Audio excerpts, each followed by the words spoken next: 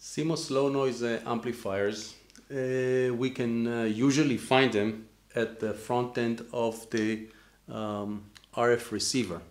So the low noise amplifier will be the first stage and the uh, receiver uh, making sure that uh, we have enough gain and signal to noise for the um, detected signal to be further propagated through the receive channel.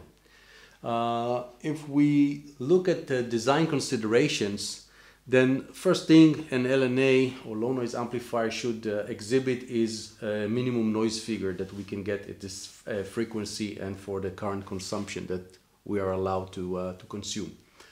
Of course, it has to be uh, um, an amplifier, so the gain should be maximized uh, to, to keep the signal to noise ratio in the channel. Uh, we uh, usually, uh, as we said, it's it's the first uh, stage in the receiver, so it needs to be matched uh, into um, to the board, the external environment. So it's a 50 ohm match usually, or 100 ohm differential uh, if it's a differential topology. it must be st stable, otherwise it's not an amplifier, but rather an oscillator and just not functional. We cannot use it if it's not stable. Uh, linearity is important, uh, even though we tend to believe that you know the signals are very weak when they uh, when they are received in the antenna. Sometimes the signal is coming from very close by, and we still need to have the channel uh, linear. So linearity is important, and uh, power consumption is always a constraint. And size and uh, package parasitics are part of the design. So uh, we must take the package parasitics into uh, consideration when we design and we are usually um, we have boundary conditions about the size that we can consume with this uh, specific circuit as part of the full RFIC. LNA input matching. Um, the LNA as uh, um, a low noise amplifier as the first stage uh, in the receiver has to be first considered from the input port. Uh, we mentioned uh, in the previous slide that noise figure needs to be minimized. At the same time, the LNA is connected to the antenna and we need to have a, usually a 50 ohm or 100 ohm differential uh, match uh, to have uh, minimum reflections uh, um, at the input of the RFIC and also increase the power gain. Uh, because reflections are not good for gain.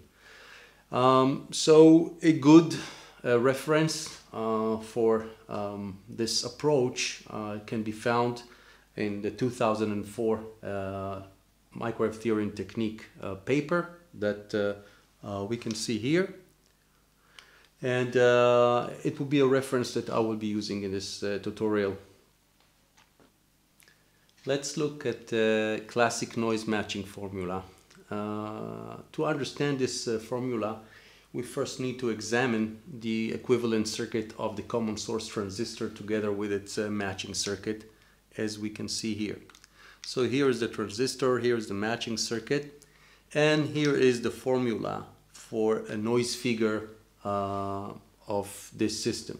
So what does this formula tell us? We have a F, uh, F min which is the minimum noise figure possible with this transistor in the current biasing conditions. Of course, it's always uh, biasing and also frequency dependent. Um, so this will be the minimum noise figure and then we have this uh, um, element here which is which has uh, um, these factors Rn will be uh, the noise resistivity or the sensitivity of uh, this uh, circuit to, uh, to matching, let's put it this way. Uh, Gs, the normalizing factor, will be the um, conductance of the source, so it's usually 1 over Rs. And uh, then we have these two elements squared where we have G, which is the conductance, minus the optimum conductance, which we will uh, soon uh, explain. And then we have this uh, imaginary part. We have uh, the imaginary part mi minus the um, optimum imaginary part squared. And so if these two elements are really uh, G equals uh, G optimum and B equals B optimum, we are just left with the F minimum. So let's talk about Y optimum. Y optimum, if we look at the circuit here, will be uh, an admittance that will be the optimal admittance for this transistor uh, when we consider noise. And it will actually minimize the noise uh, if, if uh, uh, this admittance will equal to the optimum admittance. If we are not at the optimum, then the noise figure will behave like in this formula. And of course, y has an, a real part and an imaginary part, and these two parts are part of the equation. Now uh, we should go over the common source noise figure parameters. So first parameter is uh, Rn. It is uh, pointed here as zero because later on we will uh, uh, change it a little bit. And it is equal to uh, A1 over Gm. A1 is not really a constant, but it's, it's a factor that depends on the bias condition and the transistor chosen and uh, it is reverse proportional to transistor width because GM uh, is proportional to transistor width and that that's why uh, this equation tells us that if we want to have Rn uh, minimized uh, we can choose wider transistors. Then uh, Y optimum which is the optimal um, impedance for noise performance will be A2 omega uh, CGS, which is the uh, transistor um, input capacitance, minus JA3 omega uh, CGS. So CGS is also proportional to transistor width. So Y optimum uh, has linear proportion to transistor width, and A2 and A3 are also uh, depends on depending on the bias conditions and transistor uh, chosen. And F minimum, which is the minimum noise figure we can get from this transistor at this frequency and with these bias conditions will be 1 plus A4 omega, which is the operating frequency normalized by omega t, uh, which is uh, 2 pi times the uh, transition frequency as uh, was described before. So F minimum uh, is always more than 1. We cannot have uh, better noise figure than one. This is the, um, the ideal noise figure. And uh, these are um, the noise parameters that we saw before. Now the problem is that we see that Y optimum has an imagine, imaginary part while the input impedance with common source is just the uh, input capacitance CGS and uh, these two impedances, uh, these two admittances are, are different in, in a way that Y optimum has a real part while Y in has only an imaginary part. Hence we cannot conjugate match them and that means that if we just go with this topology we may be able to optimize the noise but the input impedance uh, will be uh, will be off because Y in has no uh, real part and that's why we will have reflection between uh, the LNA and the antenna, which is not good uh, for performance or for gain.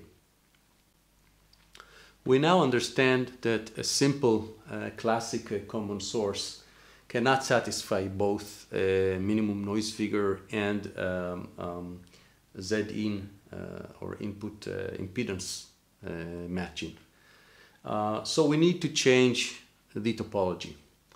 And uh, uh, if we need to change, to change the topology, one uh, very common topology will be adding LS or a source inductor to the topology in a way that we may show later on uh, may enable uh, simultaneous uh, noise and input matching. So this LS, as, uh, as noted here, will be the degeneration inductor, as you can find in the literature, and we will soon find how it can help us in the design of LNAs. So uh, we add uh, source inductor to the common source topology, and uh, now we need to, to uh, check what happens to the noise parameters that we examined before. So uh, it can be shown and uh, you can use the reference um, to check that. that Rn uh, uh, equals Rn0 and actually doesn't change when we introduce the generation inductor, which is very good because now we understand that the sensitivity of um, the topology to um, distance from optimal um, matching, noise matching, uh, is not degraded. Uh, if we look at Z optimum, we will find that Z optimum equals to the Z optimum uh, 0, which is 1 over Y optimum 0 we saw before. But it is shifted by the factor of uh, J omega Ls, uh, which is a shift, but maybe we can live with it. Okay, so the, the optimal impedance is shifted. Uh, we can probably uh, tune for that. And uh, going back to F minimum, we find that F minimum was also not changed by introducing the uh, LS inductor, uh, which is good news because uh, we did not degrade anything. We just need to look for a different optimal point to match the circuit. So uh, this is quite encouraging. We just need now to, to um, express Z optimum, which we use now here instead of Y optimum. we can do it here. Uh, by multiplying um, multiplying in the uh, conjugate and uh, we will soon see how we we continue to develop this simultaneous noise idea noise impedance idea so uh, calculating uh, input impedance for L degenerated common source uh, will be employing simple Kirchhoff laws. Uh, basically, what we want to do, we want to calculate the impedance at this uh, plane. So what we do, we find uh, input voltage divided by input current and we find Zin. Very simple. And if we do that, we follow these uh, uh, simple steps. We find that Zin uh, will equal GM LS over CGS plus j omega L minus, uh, 1 over omega CGS, which is nice because now this topology as we wanted it to, to be has both real part and an imaginary part. So if we have uh, um, if we have a y optimum with real and imaginary, we may be able to uh, achieve simultaneous impedance and noise match. The acronym for a simultaneous noise input match is uh, SNIM and uh, you can find it also in the literature, especially in this uh, reference that uh, we saw before. And now we can uh, see uh, if it's really possible to match Z in with Z optimum um, to get both noise matching, optimal noise matching and input matching. So if we want uh, impedance matching, we need to make sure that Z optimum, the optimal uh, noise match, will equal uh, the conjugate match of Z in. Okay, and uh, that means that we can uh, um, see in conjugate here. We just uh, changed the sign here between these two terms the real doesn't change and then Z optimum uh, was found before and it is now shifted by uh, J omega Ls and uh, we just need to equate um, these two um, to to have both uh, noise and input match or simultaneous match so if we look at the two uh, equations we find that they both have this uh, omega ls uh, term, which is nice. Uh, they both have CGS uh, reverse proportion at the real part, uh, but there's still some differences. this part has this A2 over A1, A2 squared plus A3 squared, which is not in the first one. And then we have here another term that does not appear uh, in Z in uh, uh, conjugate. But miraculously, uh, and with uh, uh, modern technologies, uh, we can uh, make this term right here. We can not make, but but actually, technology makes it very close to one. So it really makes the one over CGS here and this term very very close, which is nice. And by choosing the right transistor size and um, bias conditions, we can make the two reals uh, very close or similar. So really, if we have no uh, power limitations or other limitations, theoretically we can approach a perfect SNIM. But uh, in reality, it's just uh, uh, good enough to reach reasonable uh, simultaneous uh, uh, matching and uh, that's what what we do. We always uh, or usually prefer to, to to match the noise as good as possible, and just to have the uh, impedance matched uh, to an acceptable level. And uh, and this is all um, happens because we add this LS uh, inductor.